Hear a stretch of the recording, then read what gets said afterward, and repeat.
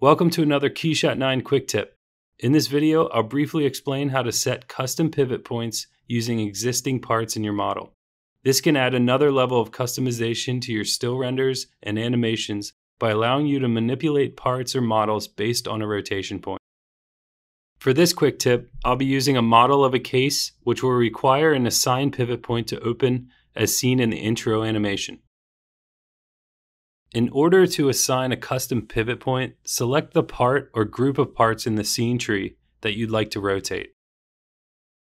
For this model, I have grouped the top and bottom housings of the case to make it easier to manipulate. Once your part or group of parts are selected, right-click on that part in the scene tree and select Move in the dropdown. The Move dialog box will appear in your real-time view. The default pivot point is set to self, so we will select pick to allow us to set our own rotation point. Once selected, the pivot selection dialog box will appear.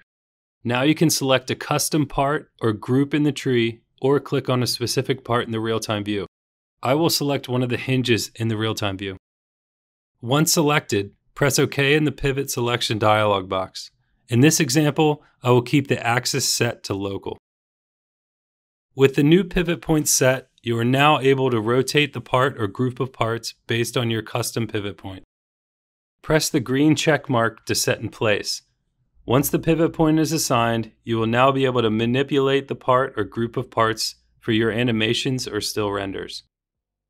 Thanks for watching this KeyShot 9 quick tip. Let us know your thoughts on this topic in the comments section below. If you found this video useful, give it a like and share it with your friends.